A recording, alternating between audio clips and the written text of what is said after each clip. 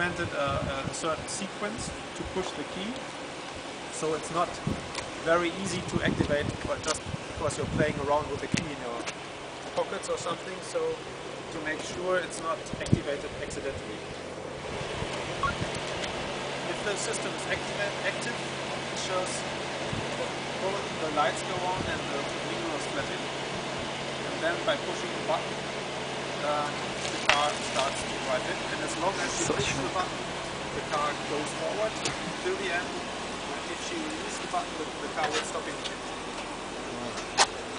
Then she can start again.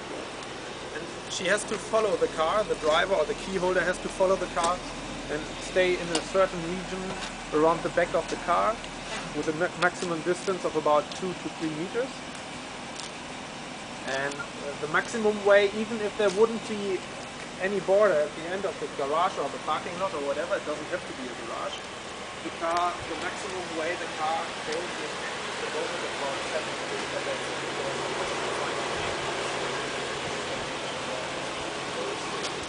Uh, if there's no border at the left and right, it goes just straight. But if there's a border, it tries to, to get in the center. If there's only one border, it tries to align along the, the border.